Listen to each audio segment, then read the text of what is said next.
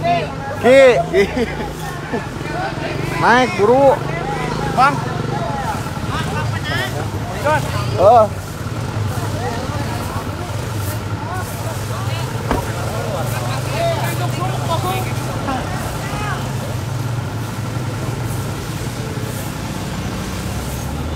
Selamat malam pemirsa Tribuner.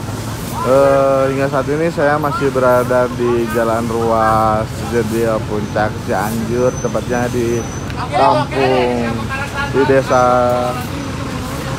Cijedil, Kecamatan Cijedil, Kabupaten Cianjur. Kali ini petugas masih melakukan evakuasi dan penanganan eh, terhadap pohon tumbang yang baru saja terjadi eh, pada pukul 10 malam tadi dan saat ini petugas masih melakukan upaya pembersihan ataupun e, menyingkirkan batang-batang pohon yang memang menutupi jalan agar akses jalan dari arah Cianjur menuju puncak ataupun sebaliknya e, segera bisa dilalui. Dan sekarang pun e, arus lalu lintas di kawasan ini sudah bisa dilalui dari kedua arah eh, sejumlah petugas gabungan mulai dari relawan dan dari pihak PMI ataupun BPBD serta pihak TNI Polri masih melakukan ataupun menyingkirkan eh, material ataupun pohon-pohon yang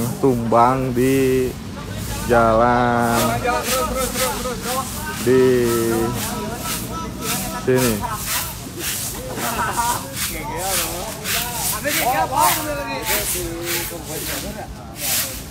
Sekarang tengah dilakukan upaya pembersihan karena dikhawatirkan eh, sisa-sisa gergaji yang tadi di pohon bisa menimbulkan atau menyebabkan kecelakaan terjadi di lokasi tersebut.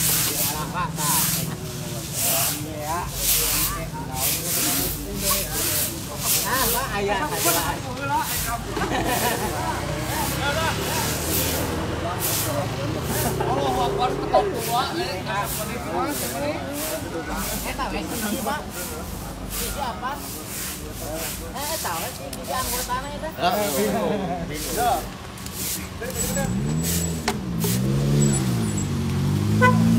Pak, maaf.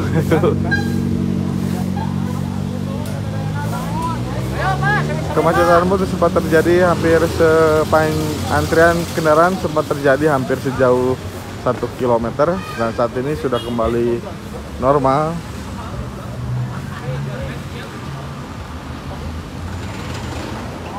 Saat itu pengendara ataupun pengemudi ataupun pengguna jalan yang hendak melintasi eh, ruas jalan raya Cianjur Puncak untuk tetap berhati-hati dan berwaspada karena tadi sejak sore hingga malam wilayah Cianjur telah, telah diguyur hujan hampir selama beberapa jam. Demikian laporan kontributor Tribun Jabar Kabupaten Cianjur Wajib Nobiandi melaporkan.